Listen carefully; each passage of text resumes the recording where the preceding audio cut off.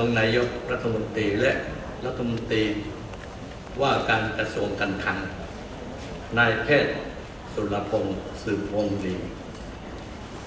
คณะท่านรัฐมนตรีว่าการกระทรวงมหาดไทย ร้อยตำรวจเอกเฉลิมอยู่บางบุตรคณะท่านอดีตรองนายกสุวัฒน์ท่านสุวัฒน์ลิปตะพันลบ พนักท่านรัฐมนตรีช่วยว่าการ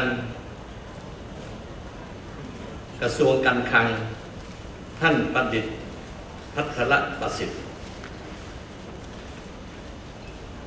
คณะท่าน รัฐมนตรีท่องเที่ยว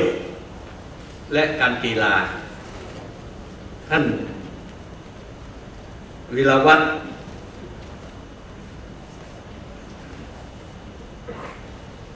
ข้าสุรัตครับ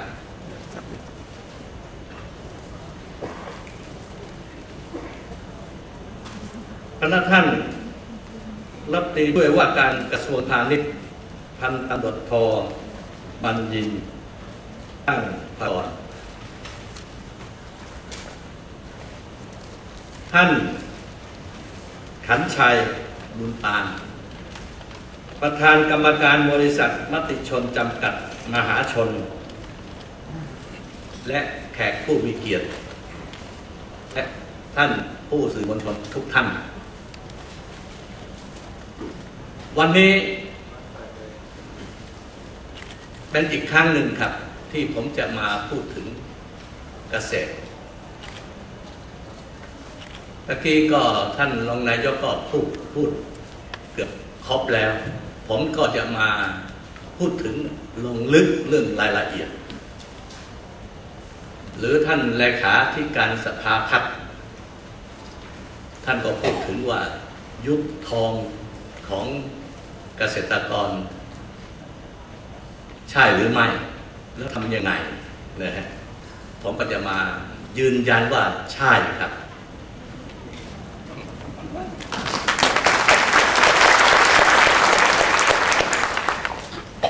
ท่านผู้มีเกียรติที่เคารพครับ รวมทั้งผมนะครับ และที่นั่งอยู่ใน ไม่มีใครที่ ไม่ใช่ทวด ไม่ใช่ปู่ย่าตายาย คือไม่เป็นเกษตรกรมาก่อน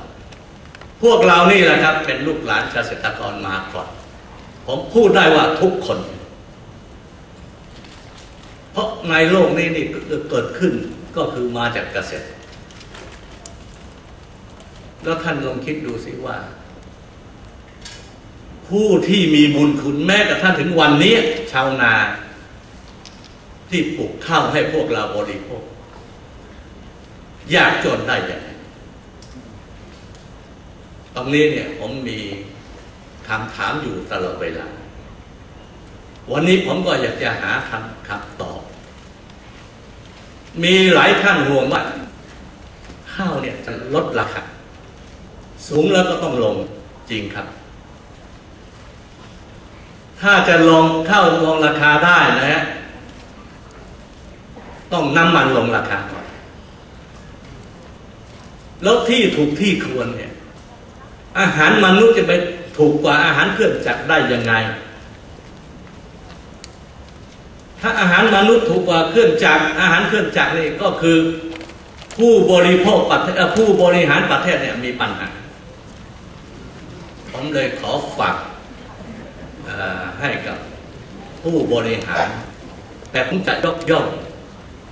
นะครับข้าราชการ ที่วันแม้ว่าเกษตรกรยากจนประเทศไทยเราก็ยัง พัฒนาเศรษฐกิจพอไปได้ คือไม่น้อยหน้ากว่าฟิลิปปินส์อินโดนีเซียพม่าเขมรลาว แต่ผมถือว่าอันนี้ ก็ยังดีกว่านะครับ แต่ถ้าหากว่ารัฐบาลเข้าใจนะครับ ว่าเกษตรกรเนี่ยคือทรัพย์สมบัติของชาติ สินค้าเกษตรกรเนี่ยหรือพืชที่ปลูกบนดิน ผมบอกว่าเป็นน้ำมันบนดิน เขามีบ่อน้ำมันในหลุม เรามีน้ำมันบนดินที่ใช้ไม่หมดครับตรงนี้ผมอยากจะให้ท่านผู้มีเกียรติทุกท่านเข้าใจว่า พวกเราเนี่ยมีหน้าที่ไม่ใช่ผมคนเดียวนะฮะทุกท่านที่นั่งอยู่ในนี้ต้องต้องตอบแทนบุญคุณ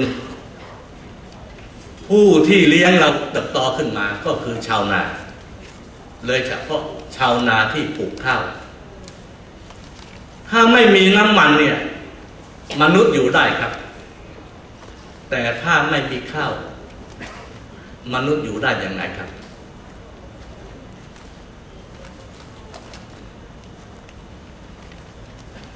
ผมมาพูดถึง ว่า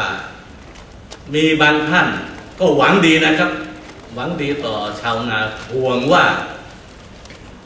ถ้าวันนี้ราคาแพงอย่างนี้ แล้วทุกคนก็หารไปปลูก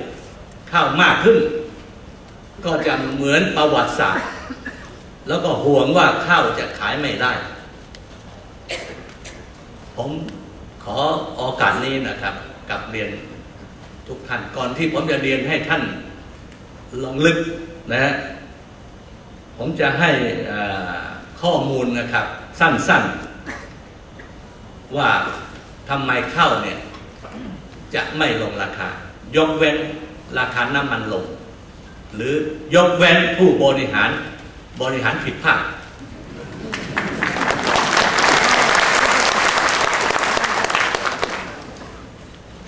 ข้าวเปลือก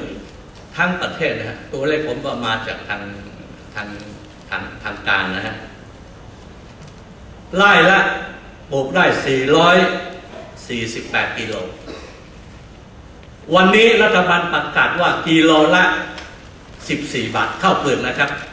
ก็คือเกวียนละ 14,000 บาท แต่ประกาศแล้วไม่ได้ทำอะไรเลยครับ คืออันเนี้ยเห็นชัดว่าผู้บริหารเนี่ยไม่ไรสนใจ พูดอย่างหนึ่งแล้วทำอย่างหนึ่งนะครับแล้วไล่หนึ่งได้เท่าไหร่นะครับ ถ้าแม้ว่า14บาทนนะครับไล่หนึ่ง3,750บบาทรายได้สุทธินะครับ ต่อไร่นะนี่ขึ้นมาถึงเกือบเท่าตัวหรือเท่ากว่าสมัยก่อนคงจะตัวเล็กน้อยกว่านี้ อาจจะเหลือพันกว่าบาทหน้าสู้ดินหลังสู้ฟ้ายากลำบากยังไงท่านกลับไปต่างจังหวัดจะเห็นเลยครับ เอานาจะเข้าเข้าไปปลูกนาทำนาเนี่ยต้องแบกอะไรเดินคันนาเข้าไป สุดลูกหูลูกตาไม่มีถนนเข้าไปบางท่านถ้าไกลหน่อยต้องไปปลูกกระต๊อบเล็กๆไปนอนอยู่ที่นั่นไปกินนอนอยู่ที่นั่น ข้าวหอมมะลิ เต็มที่เลยฮะ ไม่ใช่หมื่นแปดนะสองหมื่นกิโลละยี่สิบบาท ก็ข้าวหอมมะลิปีหนึ่งไร่หนึ่งเพียงปลูกได้สี่ร้อยกิโลนะครับ แล้วไร่หนึ่งนี่ยี่สิบบาทนะครับ วันนี้ราคาที่เต็มที่นะก็ไร่ละได้สี่พันห้าร้อยบาท ถ้าหากว่า ที่ผมเที่ยวที่แล้วเคยพูดถึงว่า ถ้ารัฐบาลลงทุนทำเรื่องชนรับประทานแล้วบีเลยเนี่ย